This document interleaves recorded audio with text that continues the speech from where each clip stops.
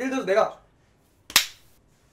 때려? 힘을 받은 겁니다. F는 MA라고 해서 내가 이렇게 힘을 줬을 때 이게 얼마나 쪼그라들었고 작용 반작용입니다. 규철이가 미미미를 때리면 미미미도 규철이를 때린다. 작용 반작용이라고 하는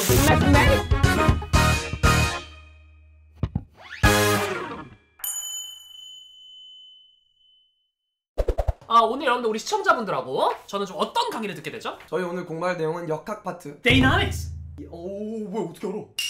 오 맞아요 맞아요. 일단은 역학 파트 지금 이제 물리에 유일하게 남아있는 킬러 파트라고 볼 수 있는 가장 어려운 부분인데요. 가장 어려운 거. 이거 이거 오늘 수업 들으면 20번 발가락으로 푸는 거 싹 가능? 뭐 찍으면 싹 가능 발가락으로 찍으면 되죠. 어쨌든 간에 뭐 어쨌든 간에 뭐 15분이니까 그렇게 욕심부리지 않습니다. 그냥 물리의 어떤 그 맛을 보는 취지인 거고요. 물리의 맛. 물리의 맛, 물리는 이제 이런 맛이구나. 근데 맛을 보면 아 쓰다 이런 느낌 들긴, 들긴 할 텐데 어제부터 수능 접수가 시작됐습니다. 오늘 이규철의 방송으로 인해서 수능을 접수할 친구들이 하지에서 물지로 물리 선택해서 바꿀 수가 있어요. 본인 하던 과목 선택해야 되지 않나? 또 물리를 그렇게 바꾸면 무슨 뭐 이걸 안 받아줘? 그래야 됩니다. 오케이.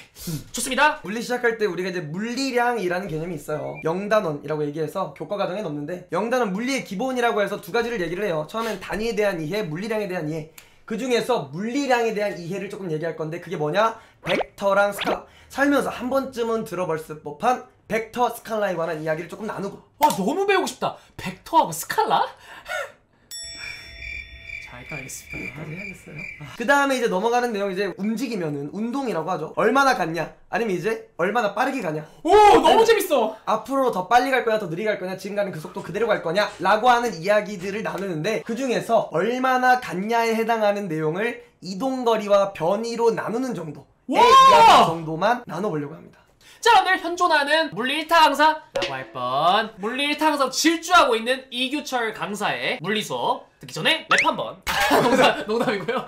오늘은 물리 강사 이규철에 대해서 한번 조명을 해보도록 하겠습니다. 물리 수업. 오늘은 어떤 내용을 가르치시죠? 그 이제 물리라고 하는 건 대단원 3개 아까도 얘기했잖아요 제일 어려운 단원 4단원이 빠지고 대단원 3개 중에서 역학, 전자기, 파동으로 이렇게 구성이 되어 있어요 그 중에서 이제 요즘 킬러는 다 어디 모여있다? 1단원 역학이라고 하는 파트에 다 질문 있습니다 아, 네 벌써요? 역학이 무슨 뜻이에요? 역학이라고 하는 건 기본적으로 물체 운동에 관해서 공부하는 학문이라고 보시면 돼요. 예를 들어서 내가 왜 때렸죠. 힘을 받은 겁니다. F는 MA라고 해서 내가 이렇게 힘을 줬을 때 이게 얼마나 쪼그라들었고 작용 반작용입니다. 규철이가 미미미를 때리면 미미미도 규철이를 때린다. 작용 반작용이라고 하는 뉴턴 운동 법칙이. 너무 잘 이해돼요 선생님 아, 그런 겁니다. 그런 내용들을 갖다가 다루는 게 역학이고요. 오 네? 역학의 대상은 여러 가지일 수 있어요. 질량을 가진 물체이면은 지금 내가 얘기하는 동력학 관련된 얘기들이 되는 거고요. 와. 기체가 주인공이 되면 열역학. 아니면 뭐 내가 이제 속도를 막 빛의 속도까지 끌고 가겠다. 특수상대성 이론. 뭐 이런 식으로 어! 원이 구성이 되어 있어요. 원래. 선생님 아인슈타인은 어떻게 된 거예요? 죽었습니다. 아쉽게도. 여러 가지 운동이라고 하는 단원으로 들어가기 전에 배경 지식으로 알고 넘어가셔야 되는 두 가지 단위라고 하는 거 물리에서 우리가 쓰는 단위라고 하는 거 예를 들어서 미니미누의 키는 169cm다 라고 하면 그 센티미터가 단위가 되는 거예요 170 넘어 오케이 그래서 요거는 제 수업 와서 들으시고 두 번째로 하는 이야기는 뭐냐 하면 물리량 학생 이렇게 할 거야? 아니 네가 부러뜨려 아 선생님 아 물리량 물리량이라고 하는 거죠. 자, 이게 이제 아. 오늘 우리가 공부할 핵심 내용입니다. 이 물리량이 뭐냐? 물리에서 말하는 모든 양들을 물리량이라고 해요. 이 물리량을 우리는 뭐로 나누냐? 아까 얘기하려고 했던 벡터 스칼라로 나눕니다. 아 벡터 벡터맨 그 벡터맨 할 때 벡터가 또 맞다라고 한다면 우기는 겁니다. 잘 몰라요, 사실. 아 죄송합니다 맞지 않을까? 차이점이 뭐냐? 우리 스칼라라고 하는 물리량은 only 크기만 있으면 스칼라예요. 예를 들어서 뭐 미미미누 몇 킬로냐? 미미미누 뭐 40킬로다 라고 하면 이제 그 미미미누의 질량 M이라고 표기하는 아, M이라고. 질량은 뭐냐 하면 지구에서 재도 달에서 재도 목성에서 재도 항상 일정한 값이 질량이고요 무게는 지구에서 재는 거랑 달에서 재는 거랑 다른 값이 나옵니다 왜냐하면 중력 가속도를 고려해서 힘입니다 힘 9.8m second 제곱 맞습니다. 방향성이 있냐? 미미누가 58km 갈때 동쪽으로 58km, 서쪽으로 58km 이런 쌉소리 안 하잖아요, 그쵸? 그쵸 질량은 방향성이 없는 스칼라 물리량이다. 크기만 있는 스칼라 물리량이다 라고 하는 게 첫 번째. 두 번째는 우리 벡터라고 하는 거 그럼 뭐냐? 크기 말고 또 뭐를 가질 수 있냐? 방향 그쵸. 그게 크기랑 방향까지 갖고 있으면 우리가 이걸 이제 벡터라고 한다라는 거죠. 물어볼게요, 형. 시간. 시간은 스칼라입니까, 벡터입니까? 벡터 왜 벡터죠? 시계 방향 있고 시계 반대 방향 있잖아 I'm a gay. 예. 자 시간이라고 하면 여러분들 벡터라고 하는 사람들이 되게 많아요. 왜냐면 막 미래, 과거 이런 게 있잖아. 타임머신 이런 거. 과거로 돌아간다라고 하는 방향이 있는 거 아니냐라고 얘기를 하는데 여기서 말하는 방향은 전방향이에요 전방향. 끌마 개념을 갖고 있다고 해서 우리는 벡터라고 하지 않습니다. 그래서 우리는 시간은 뭘로 취급한다? 스칼라로 스칼라요? 취급한다라는 이야기. 그 다음에 이제 우리가 주요하게 다룰 개념은 뭐가 있냐면 물체가 운동한다라고 하는 거에서 주요한 물리량이 뭐가 있냐 S라고 해요. 얼마나 갔냐? 그 운동하는 물체가 얼마나 갔냐라고 하는 S라는 물리량. 얼마나 빠르게 가냐라고 하는 V라는 물리량. 뒤에 있는 A라고 하는 물리량은 앞으로 더 빨리 갈 거냐, 앞으로 더 느리게 갈 거냐. 가속도. 가속도라고 하는 개념입니다. 오늘 시간이 너무 적으니까 우리가 할 이야기는 요 S라고 하는 가장 기본 물리량. 어. 엄청 쉬워요. 엄청 쉬워. 이 물리량을 갖다가 스칼라 개념과 벡터 개념으로 분석을 좀 해볼게요. 얼마나 갔냐라는 걸 그 단 거리만 크기만 따지면 그걸 갖다 우리가 뭐라고 합니까?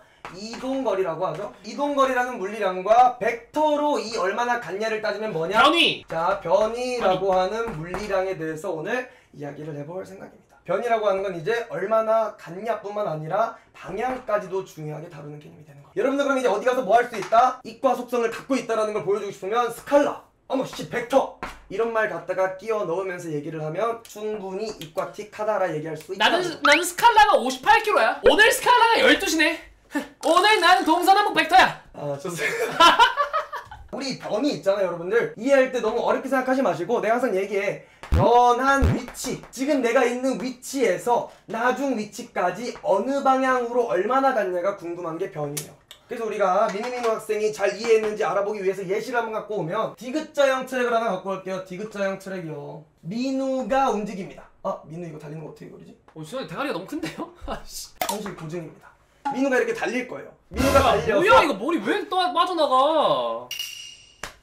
팩트랄까? 자 오른쪽으로 갔다가 위쪽으로 볼볼볼 가서 왼쪽으로 볼볼볼 가고 있는 민우의 이동거리 얼마입니까? 6m. 6m가 맞습니다 오른쪽으로 2m 위쪽으로 2m 왼쪽으로 2m를 다 더해주면 몇 미터? 6m가 이동거리가 되게 되는 거죠 변이는 어떻게 되는 거죠? 빵. 개소리고요 자 보겠습니다 변이를 따져 잠깐만! 내가 원래 2m. 2m입니다. 맞아요. 내가 원래 있던 위치에서 마지막 위치, 최종 위치까지 얼마나 갔냐라고 해서 2m라고 미니미누 형처럼 대답하시면 틀립니다.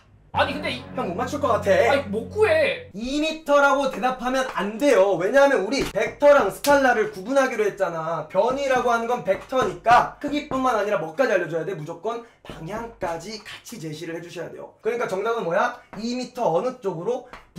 북쪽으로 변이를 갖는다라고 대답을 하셔야 정답이 되는 겁니다. 야 오늘 여기가 지금 물리금 전체 분량이 한 몇 프로 한 걸까 지금까지? 0.2% 조금 사기쳐 좀 부풀려서 얘기해봐. 2% 5% 5% 지금까지 배운 그 내용이 물리 전체가 몇 퍼센트 정도 될까요? 5% 와! 정말요? 와! 진짜 물리 쉽다. 야 오늘 땀까지 여러분들 뻘뻘 흘려주면서 강해줘 우리 철이한테 박수. 박수 박수. 정확하게는 3% 정도 됩니다. 왜냐면 내가 30시간 해가지고 완강을 때리는데 그 중에 1시간 정도 분량을 이거보다 좀 더 자세히 해서 기본 내용들을 좀 다뤄요. 여러분들 물리 많이 사랑해주세요. 물리 진짜 공부해보면 되게 재밌달까?